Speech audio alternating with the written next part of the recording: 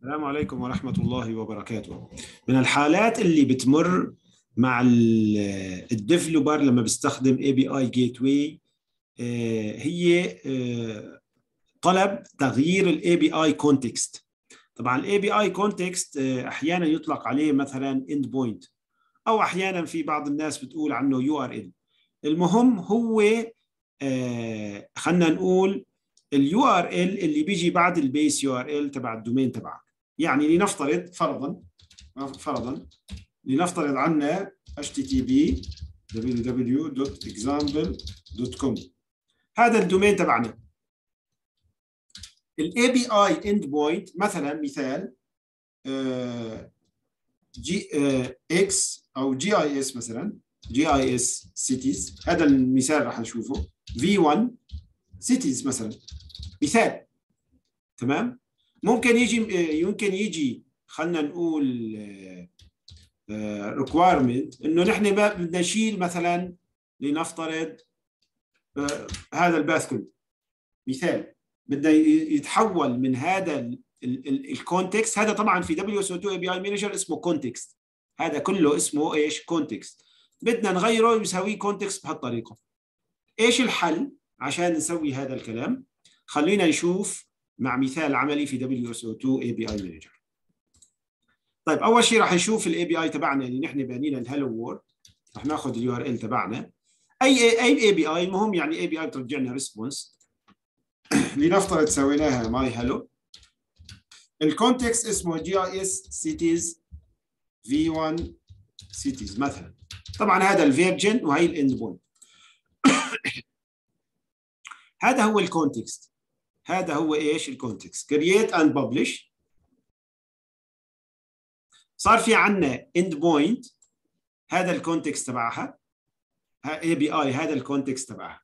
طيب خلينا نشوف الآن في ال developer portal لو رحنا على ال developer portal وأضفنا new application مثلا my app save وبدنا نسوي subscription لل API اللي اسمه my hello طبعا هون بيطلع on hold لأنه نحن مفعلين ميزة إنه في approval على هذا. طبعا هذا مو حديثنا الآن. المهم صار في عندنا خلينا نقول application وفي عندنا subscription على ال endpoint اللي اسمه my hello طيب خلينا الآن نسوي لها consume طبعا هاي steps كلها ما لها دخل في خلينا نقول في كيف تغير ال context وإنما نحن عم نشوف مثال إنه كيف ضفنا URL كيف ضفنا endpoint وراح نجرب نستخدمها. وبعدها إيش؟ نجرب نغير ال URL تبعها ونشوف كيف إيش راح تشتغل. طبعا هذا هو ال URL إذا ما بدنا هاي الواحد يلي هو ال version بإمكاننا نيجي على ال business info أتوقع لا basic info ونقول له ال default version يلي هو الحالي نحطه إيش؟ yes. وبالتالي ما في داعي إيش؟ نحط واحد آخر شيء. المهم الآن خلينا نرجع ناخذ token تبعنا generate نجرب.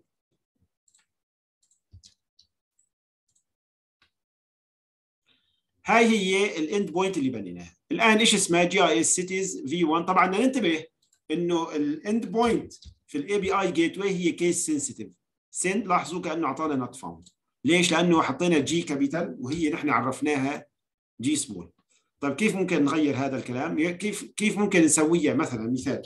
GIS capital V capital و C capital كأنه endpoint جديدة. طبعا لا لو سوينا send راح يعطينا not found خلينا نروح على ال API Manager ال Carbon لاحظوا ال URL هو ال Carbon. sorry. اللي هو الكربون. في عندنا شيء اسمه resources طبعا هذا ال concept ما هو محصور فقط على API Manager هذا موجود حتى في ال WSO2 Identity Server موضوع ال resources وكيف نسوي management من ال UI خلينا نروح على ال detailed view أسهل. لاحظوا على steps دخلنا على system governance API management application data provider admin. لاحظوا هي my hello هي اسم ال API اللي نحن أضفناها. واحد هو ال version بعدين ندخل هون على API لاحظوا إيش نسويها G capital V capital كأنه سوينا كأنه سوينا إيش؟ URL جديد لأنه هو في النهاية case sensitive بعدين بنقول له save طيب. هلا الآن لو جربنا لاحظوا لسه الجديد ما تفعل. الجديد ما تفعل. طب كيف نفعله؟ بنروح على ال my hello هي ال API API definition طبعا الهدف هون فقط عشان نسوي save and deploy save and deploy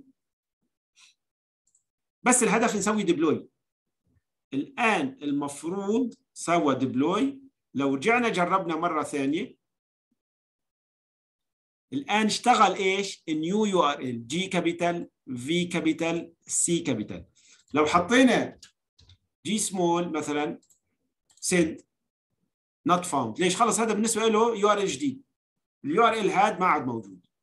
ال URL الجديد صار اسمه G capital send وهيك بيكون نحن غيرنا ال context كان بطريقة وغيرناه إلى URL جديد تماما. هذا باختصار إلى كيفية تغيير ال context بي اي في دبليو اس أو 2 اي بي اي مانجر والسلام عليكم ورحمة الله وبركاته.